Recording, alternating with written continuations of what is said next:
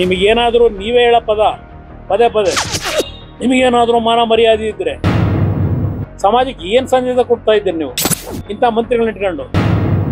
ಅಹಿಂಸೆ ಅಂದರೆ ಮಚ್ಚಿಡ್ಕೊಂಡು ಓಡಾಡದ? ನನ್ನ ಪಕ್ಷದಲ್ಲಿ ಏನಾದರೂ ಈ ರೀತಿ ಯಾರಾದರೂ ಮಾತಾಡಿದ್ರೆ ಒಂದು ಕ್ಷಣ ಇರ್ತಿರಲಿಲ್ಲ, ಒದ್ದು ವರ್ಗ ಆಗ್ತಿದ್ದೆ.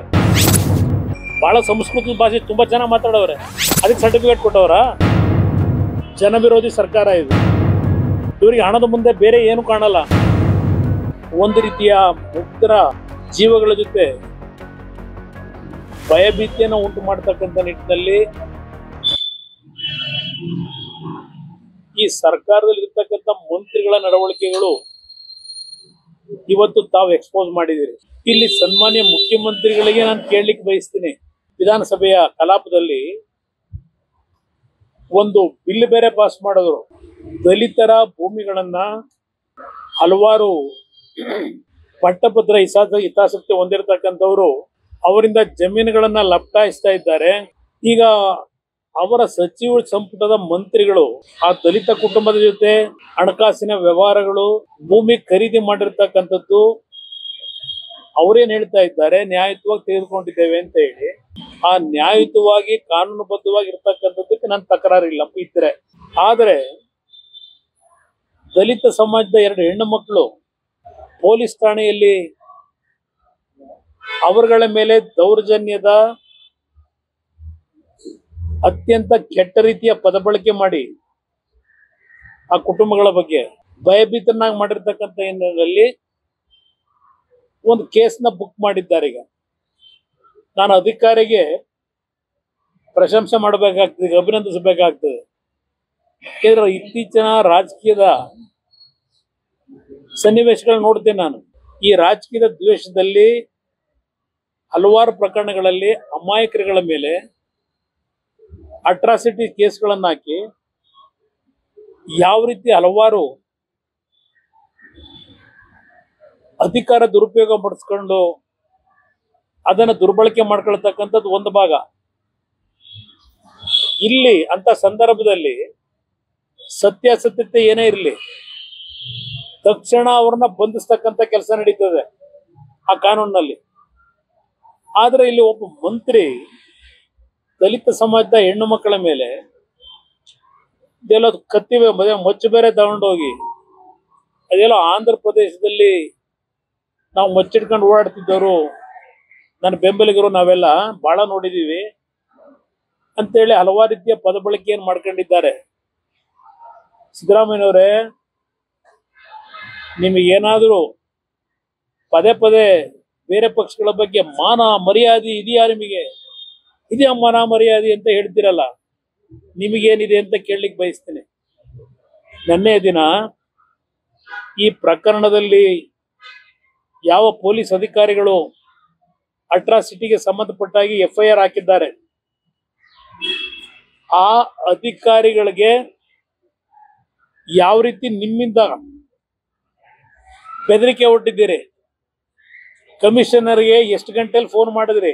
ನನ್ನ ಮಂತ್ರಿಮಂಡಲದ ಸಚಿವನ ಮೇಲೆ ನಿಮ್ಮ ಅಧಿಕಾರಿಗಳು ಎಫ್ ಐ ಉದ್ದಟತನ ತೋರಿಸಿದಿರಿ ಯಾರು ಅವನ ಅಧಿಕಾರಿ. ಮೊದಲು ಅವನ್ನ ಅಮಾನತುಗೊಳಿಸಿ. ಇದನ್ನ ನೀವು ಕಮಿಷನರಿಗೆ ಮಾತನಾಡ್ತೀರಿ. ಇದು ನೀವು ದಲಿತರನ್ನ ರಕ್ಷಣೆ ಕೊಡ್ತಕ್ಕಂತ ಸರ್ಕಾರ ಇದು. ಇವತ್ತು ಬೆಳಗ್ಗೆ ನಿಮ್ಮ ಉಪಮುಖ್ಯಮಂತ್ರಿ, ಅವನ್ ಯಾರು ಅಧಿಕಾರಿ ಎಫ್ ಐ ಆರ್ ಹಾಕಿದ್ದಾನೆ. ಆ ರೆಕಾರ್ಡ್ಸ್ ಎಲ್ಲ ಮನೆಗೆ ತಗೊಂಬ ಅಂತ ಕರೀತಾರೆ. ಇದು ಈ ಸರ್ಕಾರದಲ್ಲಿ ನಡೀತಾ ಇರ್ತಕ್ಕಂಥದ್ದು.